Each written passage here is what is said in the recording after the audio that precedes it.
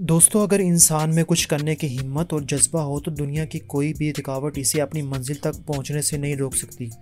इसकी एक बेहतरीन मिसाल पाकिस्तान के सूबा पंजाब के शहर समंदरी का रिहायशी मोहम्मद इकराम है, जो कि पैदाइशी तौर पर अपने दोनों बाजुओं से महरूम है।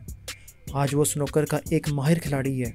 दोस्तों, इकराम को बचपन से ही स्नोकर खेलने का बहुत शौक था, लेकिन जिस्मानी महरूमी की वजह से इससे कासिर था। लेकिन हिम्मत मर्दा मदद खुदा इकराम ने कभी हिम्मत नहीं हारी और अपनी थोड़ी के ज़रिए इसे खेलना शुरू किया।